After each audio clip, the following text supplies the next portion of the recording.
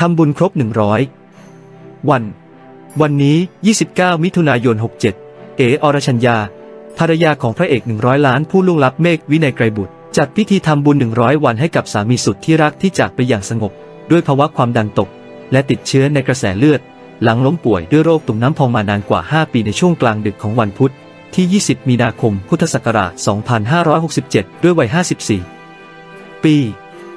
โดยพิธีทำบุญ 100 วันมีการถวายพระตาหารเพลพล และถวายสังฆทานแด่พระภิกษุสงฆ์จำนวน 5 รูปจากวัดหนองใหญ่ เขตสายใหม่กรุงเทพ ซึ่งมีลูกๆทั้ง 3 คนน้องมาก น้องแหม่มและน้องเมิร์ดรวมทั้งญาติญาติเพื่อนคนสนิทร่วมทำบุญในครั้งนี้ ทั้งนี้เมื่อวันที่ 16 มิถุนายนที่ผ่านมา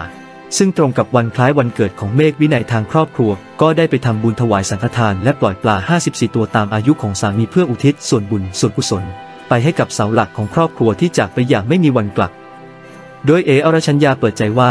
พี่เมฆไม่เคยมาหาไม่เคยมาเข้าฝันเลย ตั้งแต่เสียชีวิตมีแต่ไปเข้าฝันน้องสาว และเพื่อนๆบอกว่า ไม่ต้องเป็นห่วงตอนนี้หายป่วยแข็งแรงดีแล้ว แถมรูปร่างหน้าตาก็หล่อเหมือนเดิม ซึ่งภรรยาคนเก่งยอมรับว่ายังคงรู้สึกคิดถึง และเศร้าบ้างในบางครั้งแต่ก็พยายามคิดบวก ไม่คิดลบกับตัวเอง เพราะไม่อยากให้สภาพจิตใจแย่พร้อมยอมรับว่าการเป็นคุณแม่เลี้ยงเดี่ยว ที่ต้องดูแลธุรกิจดูแลครอบครัวมันหนัก และเหนื่อยแต่ก็มีความสุขตอนนี้มาดูแลธุรกิจ ผลิตภัณฑ์สมอาหารและรับงานไลฟ์สดขายของเพื่อหาเงินมาดูแลครอบครัว และใช้หนี้สิน ซึ่งตอนนี้ก็เหลืออยู่อีกประมาณล้านกว่าบาท ซึ่งถ้าไม่มีอะไรผิดพลาดก็จะเร่งปิดให้หมดภายในสิ้นปีนี้ พร้อมเผยอีกว่า